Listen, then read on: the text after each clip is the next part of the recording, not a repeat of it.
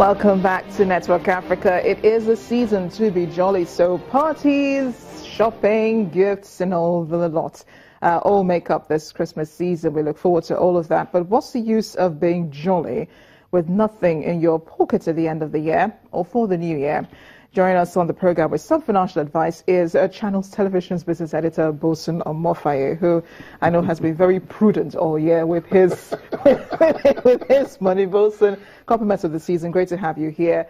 Um, you. When you look back, you know, to this season last year, Yes. what do you notice? What's different about Christmas and you know the celebrations The- this well, year? the, the first major difference was that the fuel queues are not present this year. This Mm. time last year, Nigerians were struggling to buy fuel, to put in generators. Folks were sleeping for days and weeks at petrol, petrol stations and what have you. So we've been able to, to put that away.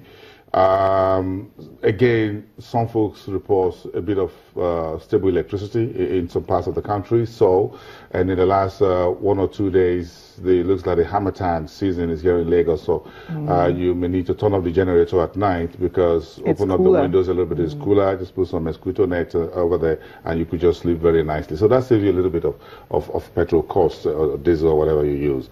Uh, however, if you look at it in terms of last year was when everyone thought that Christmas or end of year festivities would be very dull, drab, and whatever.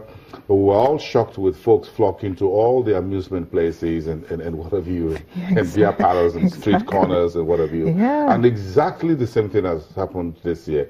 And that shows the resilience of the Nigerian people. That despite the fact that the government successively have not been able to meet their needs and provide social safety net or earn enough to save even for the rainy day, they've been able to, on their own, work very hard, very resilient, very entrepreneurial, and eke out a living in such a manner that they can put a few coins away for the 12th month of the year, which is December, hoping that somehow they put smiles on their own faces and perhaps for family and friends. Yeah, but uh, uh, do you think people spent more this year because, uh, or do you think people didn't spend more this year because they didn't have, or because they didn't save, or because, you know, all the factors were there to help people save? Saving is very difficult in Nigeria. Again, because one, the income is not there. It's, it's one day you're in job, the next day you're out of job. There's no social safety net. Uh, one day you're sure of your salary. In many several places, the next day you're not sure of your salary.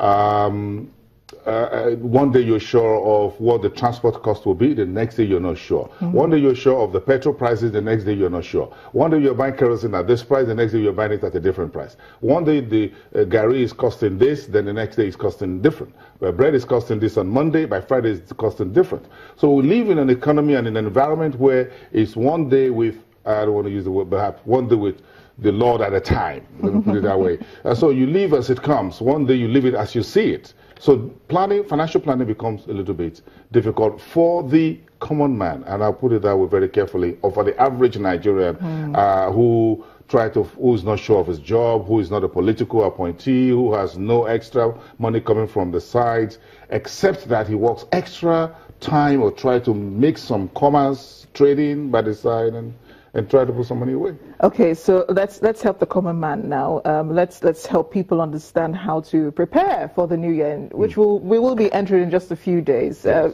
January is set to be the longest year, longest, longest month, month, in the year. So how do we get through January? January ought to be the easiest month anyway.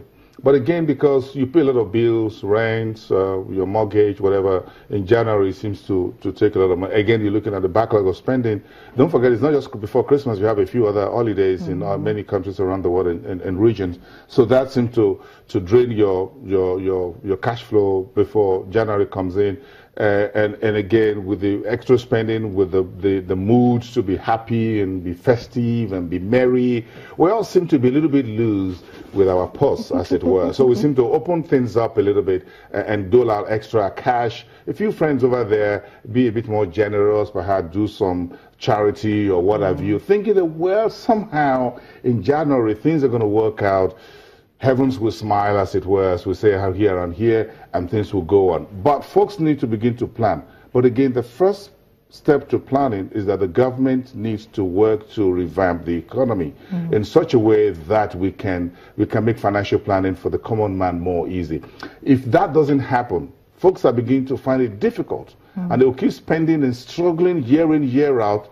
And that makes life difficult even till old age and, and, and, and, until one passes away. And that's a very difficult challenge in this environment that we're practically living from hand to mouth. You put it from one pocket, you put it in the other pocket, and you just keep going like that without any ability, without no structure, without a structure economically speaking from the government side to help us move into, into a, a, situation where you have in other developed economies around the world, maybe Western Europe, maybe Asia, and, and, and, and other places like that. Well, I'm sure some people are thinking, okay, maybe I shouldn't have bought, you know, as many presents as I did, you know, because I, I, am looking at January and, and I don't know if, if I'll get a full 13 month or anything like that. What do you say to those people? Um, should they cut down on the presents?